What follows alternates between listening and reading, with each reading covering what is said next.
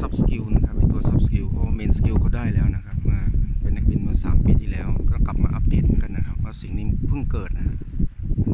sub skill ฮะ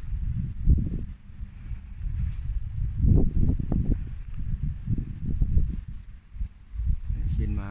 หลายประเทศนะครับท่านนี้จบจากเราไปแล้วแต่เมื่อ 3-4 ปีที่แล้วก็เป็นทักษะเก่านะฮะตอนนี้ก็มาเพิ่มทักษะตัวใหม่เข้ามา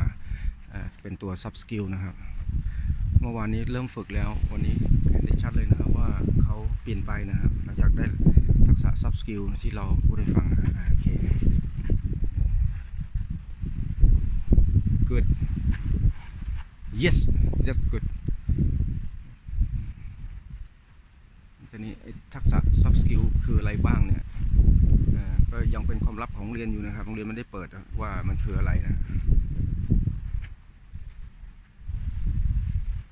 งั้ นักเรียนที่เข้าฝึกถึงจะรู้นะครับจะได้คำคำคำอธิบายอย่างละเอียดแล้วก็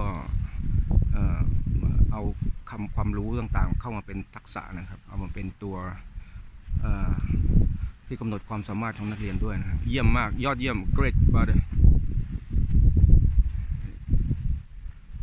อันนี้ไม่ใช่การหมุนตัวอย่างเดียวนะเป็นเรื่องของ feeling control เป็นเรื่องของการแก้ไขข้อข้องไปในตัวหลายหลายหลายเรื่องนะครับตัวเนี้ย Great.